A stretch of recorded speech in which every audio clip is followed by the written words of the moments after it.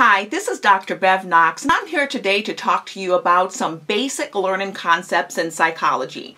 So we're going to start off with, with classical conditioning. Why am I talking about classical conditioning? Because I want you guys to know that how we feel about ourselves today, how we look, how our personal appearance, our personal image is today, stems from what? Conditioning. And it could be cultural conditioning. And a lot of us a lot of us are conditioned based on cultural norms in society okay? I'm going to start off with classical conditioning. Do you know that a lot of the phobias that exist this is by scientific research of course a lot of the phobias that we have now we don't even know what causes most of these phobias but guess what?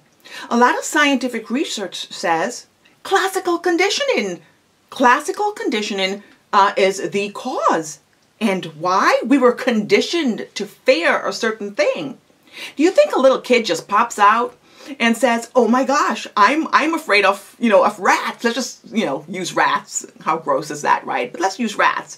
I'm fearful of rats. Do you think they're you know they just popped out um, of mommy's womb fearing rats, or could it be that their mother was afraid of rats and uh, they observed their mother, whenever she saw a rat, probably jumping on the table, screaming, screaming. And mom probably taught this child at a very, very, very early age that, you know what? Rats are nasty. Rats are horrible. If you see one, run. Or if you see one, jump on the table. Just, you know, get away from it. Right? What about lightning? Why do you think a lot of folks are afraid of lightning?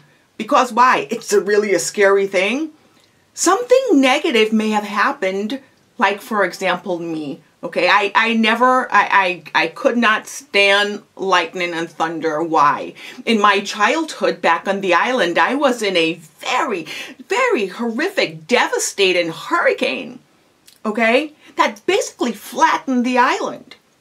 So I was conditioned that every time I would hear, you know, you know, thunder or see lightning, that something negative, something bad would happen, like it did when I was young. I was conditioned to believe. Something just triggered a memory in, in, in my brain to believe that. And of course, I had to do some, you know, because anything that could be learned could be unlearned. So I had to do some little therapy on myself to get over that. Yes, I'm over it now, okay? But I want you guys to go and you could actually look online and find find type in Pavlov's dog experiment okay? Because that will explain that will explain a lot in regards to classical conditioning all right? How we can be conditioned uh, by something that's irrelevant to do or act in a certain way all right? So that's that's classical conditioning. Some key notes classical conditioning, trigger a memory, think of that. Also, in regards to classical conditioning, it's involuntary. Write that down if you're taking notes, okay? Now, operant conditioning. And if you want to go and do more research on this stuff, with operant conditioning, I want you to go and I want you to type in Skinner, Skinner's pigeon experiment. That's a really good one. I use that one a lot in my classes. So Skinner's pigeon experiment. So remember that, okay? So with operant conditioning, I also want you to write down rewards and punishments. And I also want you to write down it's voluntary. So we learn things. We learn behaviors based on rewards and punishments. Think of your children if you have any, or think of when you were a child. If your mother didn't want you to throw your cup, just throw your cup against the wall because you were, you know, a, a strong-willed child and you kept throwing your cup against the wall, right? And your mother said, stop, no. You were punished. Now, how were you punished? Your mother wanted you to stop that behavior. That was the target behavior. She wanted you to stop that. How were you punished? Well, in some cultures, a good smack in the tush, that's a form of punishment. In other cultures, that's a no-no. You don't hit a child.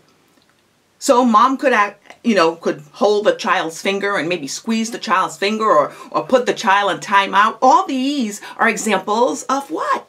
Of punishment.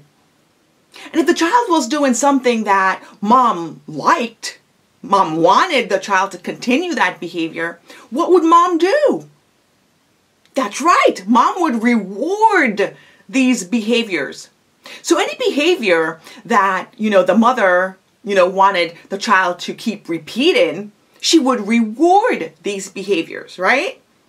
So if the child were to, if the mother wanted the child to say thank you uh, or please, to have manners, of course, because we all want our children to have manners, right? Well, most of us do.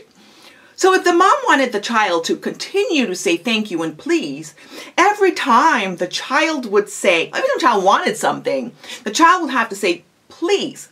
If the child didn't say please, then what would mom do? Either ignore the child or instruct the child. If you want this, you have to say please. Now, every time the child would say please, what would mom do? That's right, reward the child. And there's various ways of reward. We know that, right? Yes, we do. Mom could do what? Praise the child. Praise is a form of reward. Oh, what a good little boy, oh, good little girl. You know, pat, you know, pat the child and so forth and say, you're such a good girl. Here's your reward. You get what you want. That is a form of conditioning. Yes, it is. We condition our dogs, our circus animals. How do you think you get, you know, a lion to jump through a hoop? By speaking to him? I encourage you to please, please, please watch Skinner's video on pigeons because you will actually see a pigeon and you will see that they have some words and the video starts off like, can pigeons read? And then you will see it says turn, the word turn, and you will actually see the pigeon turning and you're you're in shock. You're like, oh my gosh, it's a miracle. The pigeon can read. But no, the pigeon can't read. Well, I don't think the pigeon could read. What it is is that the pigeon was conditioned to turn around when it sees the word. And how was the pigeon conditioned? And I hate to say it, they used they used food um, or or lack thereof uh, to train the yes yes they starved the pigeon okay, and then they would use um, food to reward the pigeon when it did the appropriate behavior. All right. So that's operant conditioning, using rewards and punishments to shape behavior. Well, what about observational learning, you may say? Well, that's huge too. Yeah, sure observational learning is huge. We observe behaviors. Now I'm going to use children, all right? Think of this. Children observe behaviors from other people, whether it's good or bad, and when they imitate these behaviors, it's called modeling. Now, if they don't imitate the behaviors, they've still learned it. Sure, they have. Observational learning. But when you go beyond that a little bit and you actually imitate the behaviors that are exhibited, guess what? It's called modeling. And these behaviors can be both negative and positive. And who dictates what's positive or negative? Society. Sure. Societal norms. Your family, your peers, I don't know. Everybody, right? But according to us in this society, we have norms that are considered what? Positive, and norms that are considered what? Negative. So for example, if an older brother, I'm going to use an older brother and younger brother, that's, you know, there's so many different other examples you could use, but these are the examples that I'm using. If an older brother decides to skip school and smoke cigarettes, you know, behind the alley, and a, the younger brother observed these behaviors. Well, you're like, well, how could a younger brother observe an older brother skipping school? Well, he probably sees him out the window, you know, skipping school, and he decides, you know, to hmm, look and see what he's doing because he could see around the alley and he sees the, the, the older brother smoking cigarettes. Sure, he could learn. That's observational learning. He could learn how to smoke cigarettes just from watching his older brother smoke. But it's not until he too actually skips school, goes behind the alley and starts smoking cigarettes. That, my dear, is considered modeling because he's imitating these behaviors that he has seen. That is modeling. So in these basic principles, these basic principles of learning in psychology, I just wanted to introduce this to you because, I mean, in regards to human behavior, we do things every single day. We act in certain ways every single day, and we have no clue. We have no clue on why we do what we do. We have no clue on why we stay in this dead end relationships at time and time again.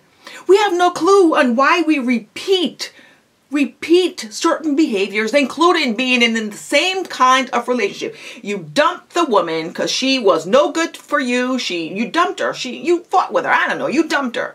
And and two weeks from now, you're in a new relationship with another woman that probably looks just like her and acts just like the one you dumped because you didn't is it you do this time and time again? Repeat the same behaviors, get yourself in the same situations over and over and over, expecting a different result. I know that is the definition of insanity. I know it. I know it. I know it. But it's all about conditioning. I want you guys to take a deeper look, a deeper look into the, the concept and the topic of learning and conditioning. Classical conditioning operant conditioning, and observational learning. This is Dr. Bev Knox from bevknox.com, and I hope you learned something today.